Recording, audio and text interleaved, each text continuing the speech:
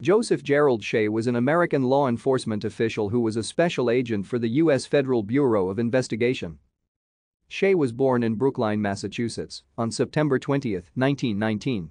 He was the third child in a family of four sons born to Frank Shea and his Irish-born wife, Alice Mary. The family moved in with their paternal grandmother after his mother's death when he was eight. Shea joined the Army in 1942 after working at the Ritz-Carlton Hotel in the Boston Navy Yard. He served in the 36th Division as a first sergeant. He joined troops being sent to Europe on the Queen Mary, which was being used to transport troops overseas. The ship nearly went down at sea when hit by a rogue wave, but it righted itself and the 15,000 troops aboard were safe. He served in North Africa, Italy, and France during World War II. Following the war, Shea attended Boston College and majored in accounting.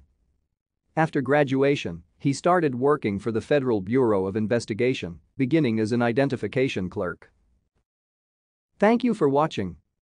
Like and subscribe if you would like to view more of our videos. Have a nice day.